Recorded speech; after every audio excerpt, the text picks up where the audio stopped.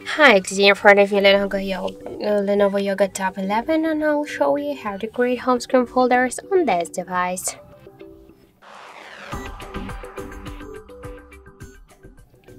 So first we should hold the application and drag this app to another one and now we just successfully created the new home screen folder. Just by the same way we can add here more applications. If you want to add the name or to give a name of the folder or to edit it just tap once on the name and enter the new one for example the apps so then just tap to OK and that's it.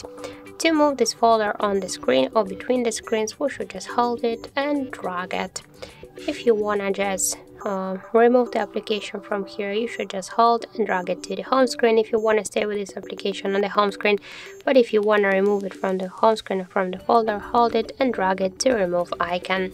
Also you can click to undo to uh, just stay with this application. If you just uh, for example remove it like the mm, mistake uh, and oh and also if you want to remove all of the apps uh, with the folder together you should hold the folder and drag it to remove icon.